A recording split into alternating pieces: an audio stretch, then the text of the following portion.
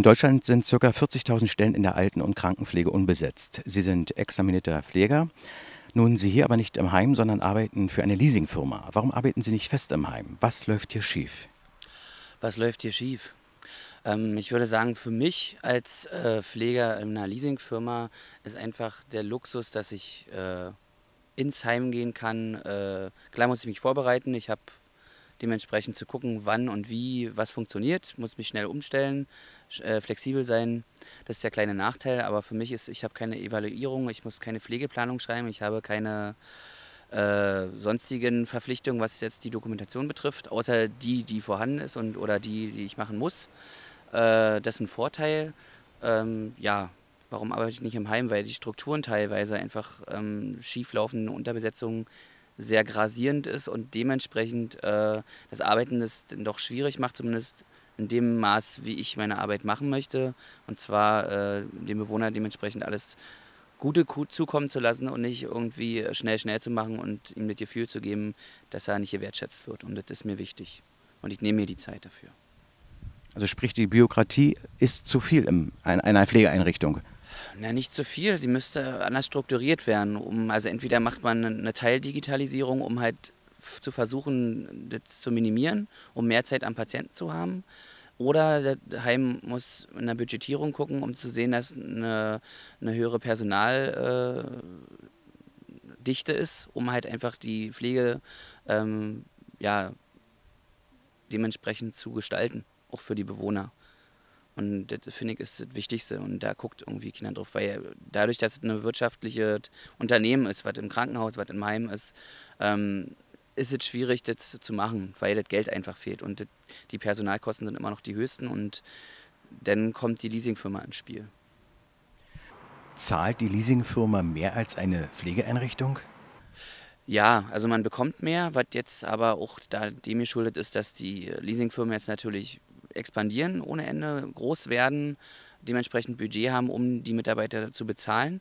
Ähm, was am Anfang der 2000er, wo das aufkam, ja noch nicht so war, weil die Firmen sehr klein waren, dadurch wenig Budget, weniger Verdienst, als wenn man eine Festanstellung im Heim oder im, im Krankenhaus hatte. Und heute ist es genau umgedreht, dass man halt wirklich deutlich mehr verdient und die gleiche Arbeit macht wo man sich teilweise ein bisschen schlecht fühlt, weil man den Mitarbeitern gegenüber halt im Heim oder im Krankenhaus da schon finanziell Vorteile hat, obwohl man die gleiche Arbeit macht. Und äh, das ist immer noch so ein Gefühl, was ich so habe, wo ich sage, hm, fühlt man sich nicht so wirklich wohl drin, aber man macht es ja um des Geldes wegen teilweise, um halt einfach für seine Arbeit entsprechend entlohnt zu werden. Also ist mir schon wichtig. Aber ähm, ja, es gibt ja noch andere Vorteile außer das Geld. Also man hat eine, eine Dienstplangestaltung, die man selber machen kann. Man kann äh, seine Freizeit äh, der Arbeit anpassen und nicht umgedreht. Also man muss nicht gucken, ja, jetzt hat der Urlaub oder der frei, kann ich nicht nehmen. Ich lege fest am Anfang des Monats für den darauffolgenden, ich möchte da und da frei haben, die nehme ich mir frei und die bekomme ich auch frei. Und selbst wenn man zwischendurch eine spontane Urlaubsidee kommt, äh, zwei Wochen vorher sagt man Bescheid und man kriegt den Urlaub auch genehmigt. Dadurch, dass halt keine äh, Co-Abhängigkeit von Mitarbeitern ist in einer Leasingfirma wie in einem Team, wo halt jeder auf den anderen achten muss, was auch eine schöne Sache ist, was mir teilweise auch fehlt. Aber ähm, ich sage, man ist einfach komplett unabhängig und man kann sich sein Leben anders gestalten und strukturieren. Um gewisse Wünsche äh, dann zu realisieren, gehört dann die Pflege verstaatlicht? Ja, also ich denke schon, dass es verstaatlicht werden sollte, wieder, weil einfach die äh, Unterschiede zwischen den Heimen und auch durch diese Privatisierung einfach so vom Kontingent her teilweise so eine gravierenden Unterschiede sind. Man hat, man, ich bin in Heime gekommen, wo, wo man denkt, man ist irgendwie im Schlaraffenland, man hat unheimlich große Zimmer, das sind Einzelbetreuung teilweise, man hat äh, unheimlich viel Materialien zur Verfügung, die Struktur ist besser, man hat äh, auch ähm, architektonisch ganz anders gebaut. Und äh, woanders, wenn ich dann sehe, kommt man in ein Heim, da sind die Zimmer unheimlich klein. Der Bewohner kann sich nicht entfalten, keine eigenen äh, Möbel mitbringen oder ähnliches. Das fehlt halt, also dass man schon den gehobenen Standard hat, aber der sollte überall gleich sein, um jedem die gleiche Möglichkeit zu geben, im Alter halt auch irgendwo respektvoll behandelt zu werden und dass er sein Leben mit ins Heim nehmen kann, um halt äh, in seiner Erinnerung halt auch ein bisschen leben zu können. Und das fehlt halt teilweise überall. Dass man einfach äh, da keinen gleichen Standard hat und das äh, merkt man echt massiv und das finde ich sehr ungerecht. Und das ist auch für die Pflegenden und auch für die Patienten oder halt auch äh, den Bewohner einfach ungerecht und das sollte schon in der, in der Waage liegen, dass man halt auch, denke ich, dass man auch besser pflegen kann einfach. Weil man dann auch ein anderes Umfeld hat. Man kann sich ähm, besser entfalten. Der Bewohner kann, wie dann kommt das Personal wieder zu dementsprechend, dass man sagt, ja, wo sind die Ergotherapeuten, wo sind die Physiotherapeuten, ähm, dass da auch von außen halt einfach die externen Sachen viel ähm, intensiver da sein müssen. Und auch die Ärzte und, und alles, was noch dazugehört, Apotheke, dass da einfach ähm, eine ganz andere Struktur stattfindet, auch mit der, mit der Informationsweitergabe. Das ist ja das, wo es hängt, dass teilweise Sachen nicht da sind, weil nicht bestellt wird oder wenn bestellt wird, wird es nicht verschrieben, weil das Budget nicht reicht oder ähnliches. Also durch eine Verstaatlichung auch in der Pflege und auch bei den Ärzten würde dann wahrscheinlich ein anderer Standard in den Heimen auch herrschen. Deswegen denke ich schon, dass eine Verstaatlichung schon besser wäre. Ja, zum Thema Leasing, was Nachteile für mich sind, äh, also jetzt nicht mehr, ich muss mich dran gewöhnen, ist diese ähm, unheimlich schnelle Flexibilität. Man muss halt wenn man auf eine Station oder in irgendeinem Heim kommt, wo man noch nie war, sich einen Überblick verschaffen. Und das relativ fix und schnell, um dann halt auch adäquat arbeiten zu können. Wenn man das nicht macht oder nicht kann oder Angst davor hat, dann wird es schwierig, weil dann verzettelt man sich und man braucht wirklich eine Struktur, die man sich aufbaut, die muss auch laufen. Und wenn man das nicht schafft, dann macht Leasing keinen Spaß, weil man muss halt wirklich sagen, man hat Situationen, wo man echt dasteht, und das sagt, nee, das ist für mich jetzt kein Zustand, das möchte ich eigentlich nicht, zieht jetzt durch, aber die fällt mir nicht. Daraus äh, resultierend ist aber das Schöne, dass man in der Firma anrufen kann und sagen kann, ich möchte in diesem Haus nicht mehr arbeiten, weil ich äh, da nicht adäquat arbeiten kann, äh, die Zustände einfach nicht tragbar sind für mich. Und äh, dann sagt die Firma, okay, dann setzen wir sie da nicht mehr ein und dann hat sich das Thema dafür damit erledigt. Und das finde ich halt sehr gut, dass man halt nicht gezwungen ist, also keine Angst mehr haben muss, auf Arbeit zu gehen, weil man da nicht klarkommt oder weil man überfordert ist oder unterfordert ist oder die Pflege einfach nicht so stattfindet, wie man sich das selber vorstellt. Aber eigentlich ist ja der Leidtragende der Bewohner. Ja, meistens und eigentlich immer, ja.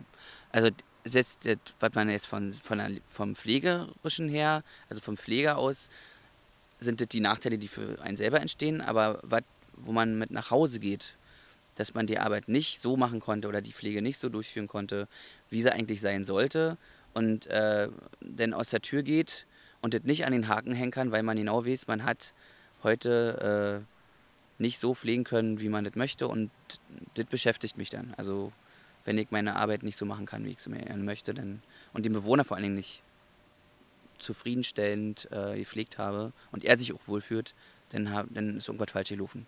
Und das liegt dann aber nicht an meiner, an meiner äh, Inkompetenz, sondern an den Gegebenheiten, die vor Ort waren, um halt denjenigen ähm halt ordentlich zu pflegen.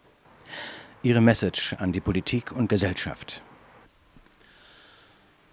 Ja, ich denke mal, die Leute sollen endlich mal aufwachen und mal gucken, was wirklich los ist. Es macht sich in der Politik, denke ich mal, ja, keiner, also machen sie sich im Kopf, aber äh, ja, für mich passiert da fast gar nichts. Also selbst wenn man direkt vor jemand steht und ihm mit erklärt, was passiert, was nicht passiert, welche Pflegenotstände entstehen, was hier in diesem Land eigentlich falsch läuft und die soziale Hängematte wird irgendwann reißen und dann wird das alles noch teurer und für die älteren Menschen fast unmöglich, denn, denke ich mal, irgendwann einen Heimplatz zu bekommen, weil sie es nicht mehr bezahlen können.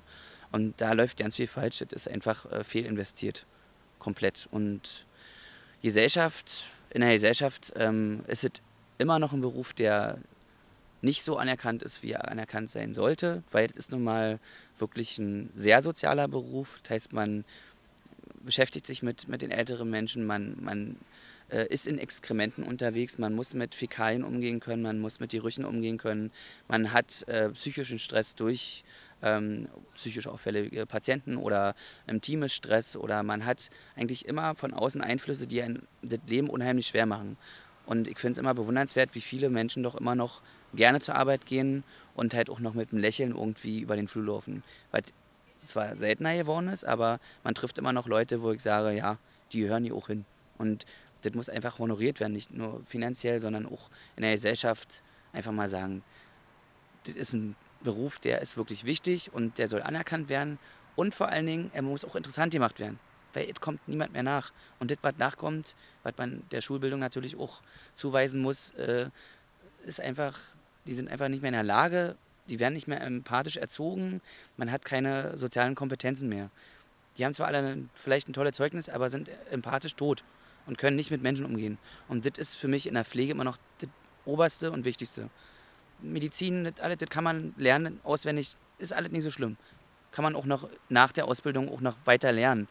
Aber Empathie hat man oder hat man nicht. Und die kriegt man im Elternhaus, die kriegt man in den sozialen Einrichtungen wie Kindergarten oder Schule. Und das passiert heute nicht mehr. Also heutzutage kommen die Kinder A sozial aus der Schule und können nicht mehr adäquat mit Menschen umgehen. Respekt fehlt. Und das ist das oberste Gebot in der Pflege. Respekt vor dem Alter, vor dem Menschen. Und das fehlt. Und deswegen hat auch keiner mehr Interesse, sich mit Menschen zu beschäftigen. Digitalisierung auch ein großes Thema, was noch dazu führt, was ja die Kinder jetzt schon von, von klein auf bekommen. Da fehlt ganz viel menschliche Wärme und wenn man die nicht bekommt, dann kann man es auch nicht wiedergeben. Und das ist, was fehlt. Und da denke ich, das ist es schwierig, in der Zukunft Pflege zu gestalten. Also Pflegezombies. Ja, so kann man es bezeichnen. Und das finde ich traurig. Und ich würde mich freuen, also mich würde es freuen, wenn man wirklich auch die Jugend mal ranzieht und mal zeigt, klar, es gibt schlechte Seiten und eklige Seiten, aber es gibt auch wieder schöne Seiten. Und äh, die sollten überwiegen und da sollte man auch wirklich mal Werbung für die Pflege machen. Weil jetzt kommt keiner mehr. Und irgendwann, äh, wir, wir wissen, was uns erwartet. Wir werden mit 75 noch am Bett stehen mit dem Rollator und äh, vorne haben wir die Inkontinenzmaterialien und fahren zu dem Menschen, der fünf Jahre älter ist und pflege ihn. Und das kann es nicht sein. Da muss was passieren. Engagieren Sie sich außerhalb Ihres Berufes für die Pflege? Äh, ja, momentan ist es schwierig. Aber ja, ich habe auf jeden Fall vor, noch äh, Musiktherapie, äh, Therapeut äh, zu lernen und will dann auch ähm, extern, auch außerhalb meines Berufs, den, vielleicht die Stunden runterschrauben und dann Musiktherapeut in Heimen, Krankenhäusern, Kindergärten. Das ist für mich, dass man halt mit Musik irgendwie auch die Leute ein bisschen aus ihrem Alltagstrott, der meist sehr langweilig ist, ähm, rausholt und mal ein bisschen Abwechslung schafft. Das habe ich noch vor, aber ist halt noch eine finanzielle Sache. Man muss es ja selber bezahlen. Wird ja nicht äh, subventioniert, muss man schauen. Aber das ist so mein Traum, den ich eigentlich habe, dass ich vielleicht später, wenn mein Körper sagt, ich möchte nicht mehr fliegen oder ich kann nicht mehr fliegen, dass ich dann mit einer Musiktherapie weiterhin in der Pflege tätig sein kann. Das ist so meine ed